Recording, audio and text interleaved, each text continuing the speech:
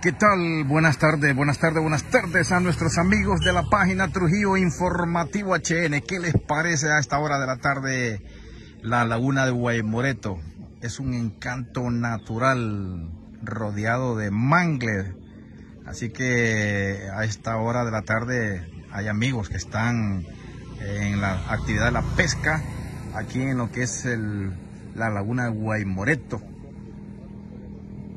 Es una tarde calurosa, una tarde muy bonita, una tarde donde están pasando los vehículos por esta carretera CA13 que conecta Trujillo y Puerto Castilla.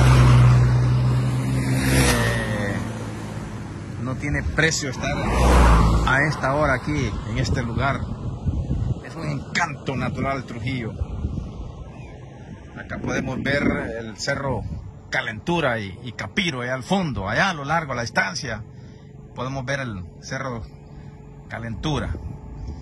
Aquí están los mangles, el, la puesta del sol a esta hora de la tarde en el lado oeste.